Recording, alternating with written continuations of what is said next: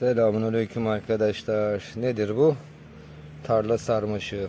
Convolvulus arvensis bilimsel adı.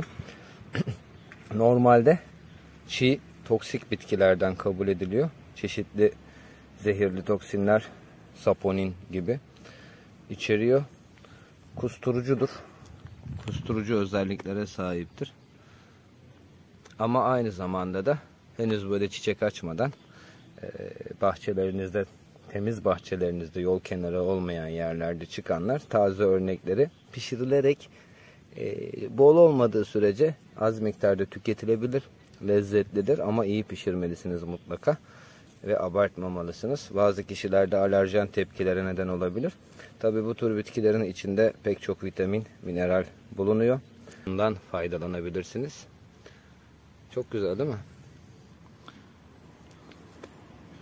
Çiçek yapısı, yaprak yapısı. Gerçi bunu göstermeme gerek yok. Şurada başka sarmaşık türü de var.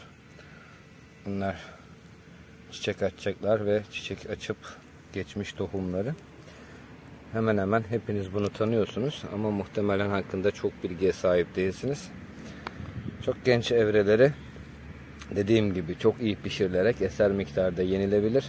Çiğ kesinlikle tüketilmiyor. Zehirli bir bitki. Ama muhteşem güzel. Bu arada Sevim hocama da çok teşekkürler.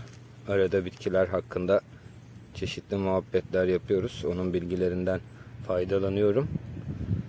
Ona da buradan bir kucak selam bırakalım. Allah'a emanet. Başka bir videoda görüşmek üzere.